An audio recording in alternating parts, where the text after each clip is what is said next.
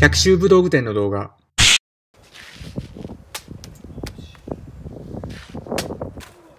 こんにちは、百秋ブログ店のうがです。やってますか？おー今日はですね、いつもみんなが使ってる市内は、刀の代わりなんだよっていう話をします。最初に謝らないといけないです。ごめんなさい。もうほんとすいません。普段ね、道場で偉そうに、市内は刀の代わりなんだよ。だから大事にしようね。打つ時も、ここで打つんじゃなくて、顎まで切るんだよみたいなことをね、なんか偉そうに言ってたけど、本当言うと、刀で物を切った経験なんてなかったんです。本当にね、素朴な疑問なんですよ。真剣、切れる刀。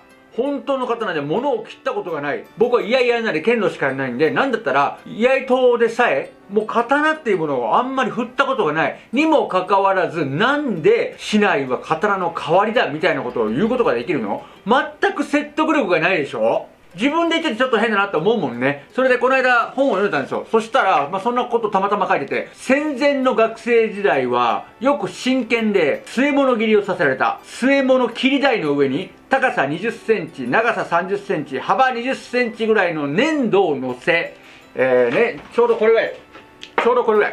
粘土を乗せ、これを真剣で切るのである。手の内が悪いと刀は、刀の入った方に斜めに切れ、なかなかまっすぐには切れないので、ある、これが上手にできるようになると、わら束を切るなどの手の内の動きを身につけさせられた。これ学生の時よ。このような指導を受けながら、さらに一刀両断の剣道の指導を受けたので、刀は常時、己の手元にあり、正しい剣の取り扱い方を教えられた。これぐらいやってると、市内は刀の代わりって、もう説得力があるよね。この本読んでたら、そっか、戦前は学生さんでも本当の刀で末物切りをやってたんだって思ってたんですよ。思ってた。思ってた。え？俺もやってみたいこれ俺もやってみたいってなって、末物切りチャレンジさせていただきました。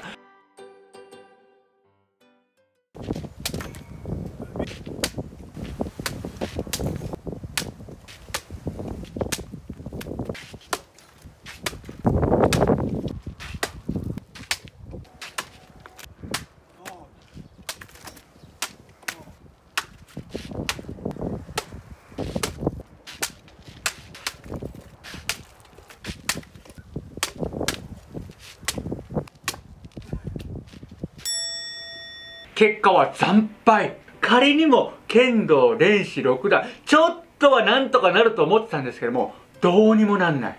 それでやっともうダメだってことで先生にお手本をお願いしました。そしたらね全然違うの。パスパスってもうまっすぐ力入ってない。もうびっくりするぐらい切れるの。これほんと同じ刀。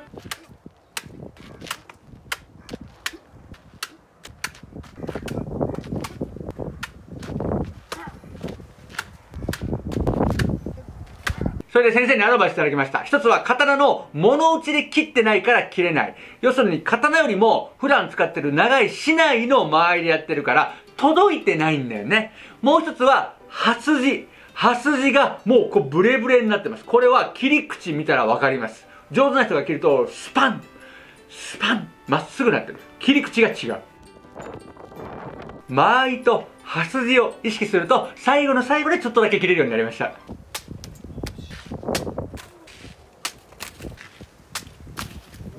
それでまた別の本読んでたら、ちょっと興味深いことがありました。昔の剣術のあり方っていうのは、最初に刀を触らせるんだって。刀触って、子供たちが、おお、これが刀かーって、ちょっとこの手にずっしりね、重みを感じたりとか、おお、ちょっとこれで切られたら嫌だなとか思うような経験をさせといて、それの代わりが木刀だよと。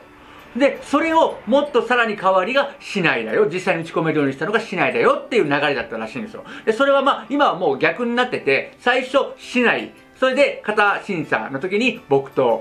で、真剣に関してはもう触ることすらないと。まあ、こういう流れ逆になってんだなっていうことを書いてました。なるほどね。最近やっぱり稽古することで、楽しいことって多いじゃない？ゲーム性の高いことやったりとか、手拭い使って面白くやったりとか、あの、ボール使ったりとか、ね、やってるとこもあると思うんだけど、もしかしたら、最初の最初、興味を引くっていう意味では、最初の最初、一発目に、本物の刀抜いて、はい、持ってみて、うわ、こんな重いものなのか、こんなかっこいいのか、もうキラキラしてるねとか、もう、やっぱ食いつきが違うと思うんだよね。なるほど、そういうことだったのか。まあ危ないけどね。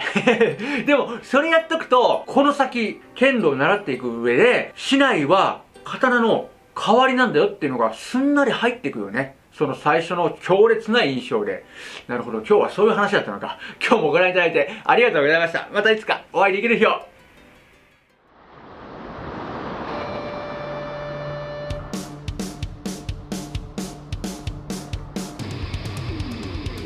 まだ当店の無料カタログを見たことがない人、防具を買う買わないなんて小さいことは関係ないです。ぜひご請求ください。新聞紙サイズのポスターみたいで見てるだけでも楽しいですよ。説明欄にリンク貼っておきます。